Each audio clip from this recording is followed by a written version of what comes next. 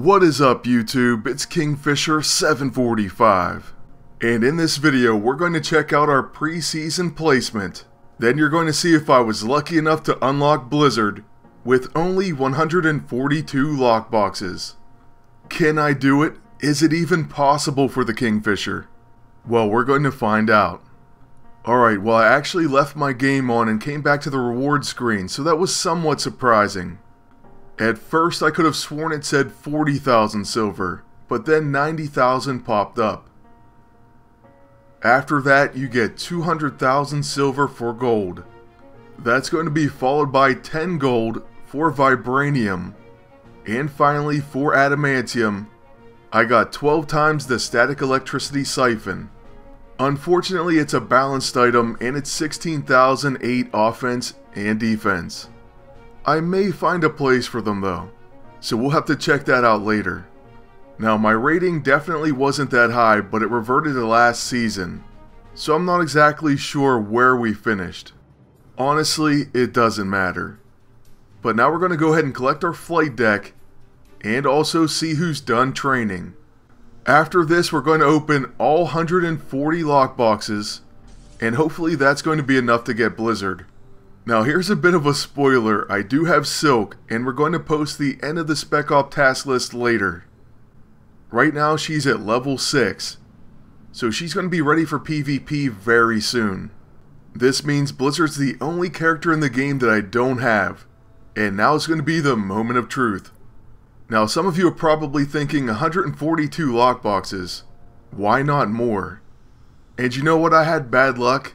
And also, I didn't finish the daily a few times. Today, I couldn't get on any earlier, so I didn't do the daily or any matches. So that definitely hurt us. But hey, we start off strong with 5 CP and a brand new cover. Infinity Heist Volume 1, Number 2. So hey, once again we start off strong with a brand new cover. Of course we couldn't get a duplicate yet. But there it is in all its glory, and it looks pretty awesome. Now going right on to our next opening. This time we end up with... The same exact cover. Well, that's not good. I'd like to say this isn't a bad sign for us getting Blizzard, but... We got a duplicate right after our first cover. I don't think there's any positive way to spin that. Well, we couldn't get another dupe, so we got Iron Man Volume 1 number 240. And this is a pretty cool older cover. But not that old. Alright, let's keep that luck going with hopefully another new one. We still have a chance. So opening 10 times more, we end up with... This is taking a while. The New Thunderbolts Volume 1, Number 7. Alright, we'll take it, our third unique cover. And it's a pretty amazing cover also. I have to admit, I love the Thunderbolts books. Now, since we have three covers, that means we're five away, and we have 10 times more opening. Now, we went through the story for good luck, and this definitely helps out. Okay, that's not good luck whatsoever. We're never going to do that again. So opening 10 times more, this time we really need a non-dupe. And we get a new cover. So New Thunderbolts Volume 1, Number 1. That means we're halfway home with 82 lockboxes. And once again, of course a Thunderbolts cover is going to be awesome. I'm pretty sure that's a requirement. Honestly, I can't even think of a bad one. But let's keep the streak, and we did with another brand new cover. So Captain America Volume 1, number 412.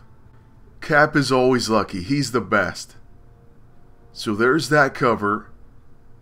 And it's got a lot going on, it's pretty cool. Battle Royal. Or Battle Royale, if I want to be fancy. Now next up, let's get another new one. Kingfisher needs a new pair of shoes. And it's going to be New Thunderbolts Volume 1, Number 1. Did I say I like those covers? Because they're starting to lose favor with me. Quickly moving on from that disappointment, we're going to end up with another new cover Infinity Heist Volume 1, Number 3. I'll be completely honest with you, I lost track there, but we have 6 of 8. And if we get our 7th cover, then I will remain pretty confident. Because at least we know we have a limit to how many we would have to buy. Or I should say a reasonable limit. So that's what I'm hoping for right now, just 7 out of 8 covers. And of course we get another dupe. Thanks a lot, Thunderbolts. Alright, we're getting low on lockboxes, and we still need two covers. And that decides it, I officially hate Thunderbolts and their covers. So thanks PD for ruining that team. We have three 10 times openings left, and we still need two covers. I'm officially getting bummed out. Wait a second, we do get another new cover. Iron Man Volume 1 number 86. So we got that 7th. And with that, I'm at least fairly pleased. But hey, let's stay positive, maybe we can do this. That appears to be Blizzard's first appearance, which I'd actually like to have. So I'm going to look that up after this. But now let's go ahead and complete this collection with our eighth and final cover. Here we go. It's going to be Captain America's cover once again. Et tu, Captain? Okay, final 10 times opening. What would be the odds of us getting it? Honestly, there's no chance. I can't even believe it. PD has finally been kind to us. The lockboxes haven't let us down for once. Seriously, I'm kind of speechless. We somehow managed to get Blizzard without spending all of our gold, and I couldn't be happier. So there it is, our collection once again is complete. And that means we'll take a look at his storyline and check him out in PvE. Oh, but first up, his recruitment dialogue. Agent, thank you for giving me a second chance. Iron Man said I can take my Blizzard battlesuit out of cold storage. Cold storage. Okay. Next. If you ever need any backup, you can count on me, Agent. As long as it's not something too terrifying, or life-threatening, or some otherworldly abomination with sharp pointy teeth, I might get cold feet. Cold feet. I see what you did there. This guy's taking a page out of my book. So anyways, moving on to the story. My name is Donald Gill, but my friends call me Donnie. You can call me Donnie too, if you want. I'm not really good at this. I used to work for Justin Hammer, one of Stark Industries' competitors. I would show up to work on time, didn't complain about my job, and always kept a smile on my face. You sound pleasant, Donnie. I guess it got me noticed because I ended up in one of Hammer's cool battle suits. My first assignment was to secure a different battlesuit that another employee had stolen. Alright, so far sounds legit. I didn't realize it at the time, but after a couple of botched assignments, and a few heart-to-hearts with Iron Man, I saw that I was just a pawn in a game of corporate espionage and crime. I tried to follow where the work was, the Masters of Evil, Hydra, the Brotherhood, even Madame Masque and her Maggia hangers-ons. Those were miserable times. Then Blizzard was on Scared Straight. Or he recently ran into a kid with a pet dinosaur. He melded my suit's subsystems with his robo gauntlets. And said I should be more chill and think about changing sides. So I did but what heroics am I capable of? I did remember that one time I ran over the Mandarin with a car while he was fighting Iron Man. And Iron Man did say he owed me a favor, so I guess I came here to collect. And he sent me straight to you, Agent. Well, I guess running the Mandarin over with a car is kind of heroic. So what do you say, Agent? Care to have another cool guy on your team? Uh, sorry about that. I really need to learn when to stop with the Blizzard puns. Hey, wait a second. Is that a shot at me? Well, now me and Blizzard have beef, and revenge is a dish best served cold. So just remember that. Alright, well with all 8 covers, the story, and all that cool stuff down, we'll go ahead and take them into battle with Silk, and at least get a really quick first look. I believe we're in Season 2, Chapter 9, probably Mission 2. But I might be wrong on the mission.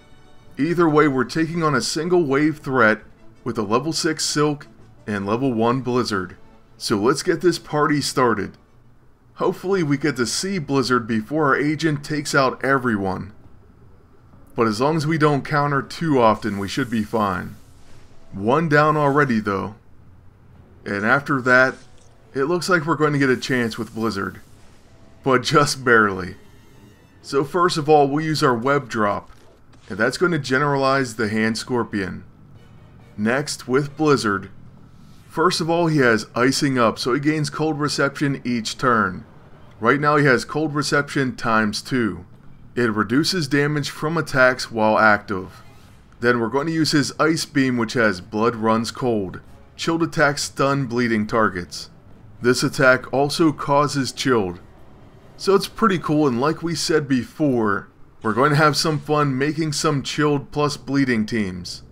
Besides that, Silk is awesome against generalized targets, so we'll go ahead and take a look at what happens right now. And of course, first off she makes that web shield. Well, she calls it a silk shield. That comes from hyper reflexes, block, gain rising up, and counter with webbed against generalist and generalized targets. This is why she's going to be awesome with someone like Avalanche. So that's going to be a team up we explore very soon, as she is already at level 6. So we'll just go ahead and recharge with her, and see one more Ice Beam. And that's going to be it for our Unlocking a Blizzard video. I hope that you enjoyed it. I want to thank you all for watching, and also ask you to please like, comment, and subscribe. There's going to be plenty more Blizzard action soon. But with that, take care everyone, and good luck.